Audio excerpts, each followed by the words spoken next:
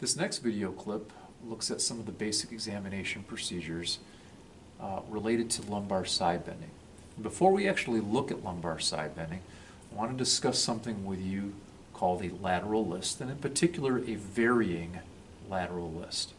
And varying means it's bigger one day, smaller the next day. It's off to the left one day, off to the right another day. So let's look at a left lateral list. Left lateral list sort of looks like this. The patient's shoulders are off to the left in relation to their pelvis. This is a left lateral list.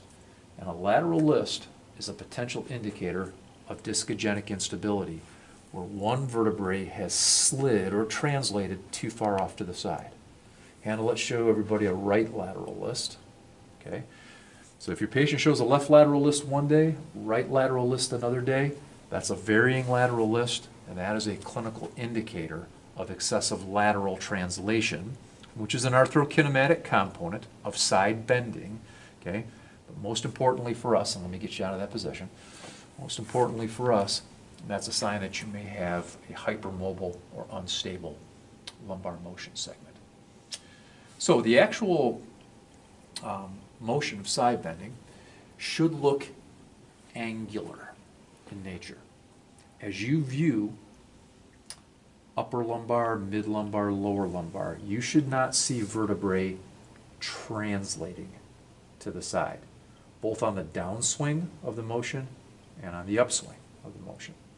So then I want you to do a left side bend. I just want you to run your left hand right down the outside of your left leg and then come right back upward. And then please do that again. Look at the upper lumbar first. Then put your eyes on mid lumbar.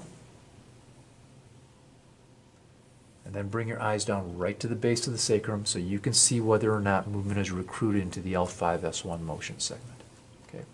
If a patient is a little hesitant into moving into side bending, we can determine whether or not pain is limiting that motion through the application of a gentle overpressure test. So Hannah, I want you to go a little ways in the left side bending so we can demonstrate for everybody what an overpressure is.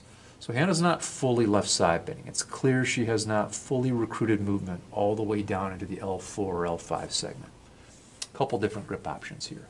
You could grip above the elbow and a light contact on the pelvis and just pull the arm down a little bit. If that causes discomfort for the patient, again clarify. What was the character of the discomfort? How intense was it?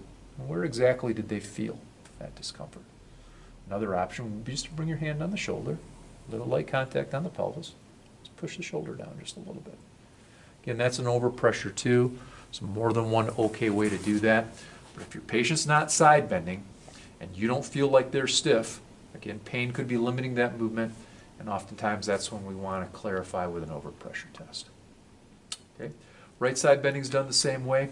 We look for, and let's say we just do a couple repetitions of that, Hannah. Nice angular rocking of one vertebral body over its disc, all the way from T12 to L1. We shouldn't see excessive translating, both on the downswing and the upswing of the motion. If you see excessive lateral translation during active side bending, that is a visual indicator, potentially, of instability at one or more motion segments.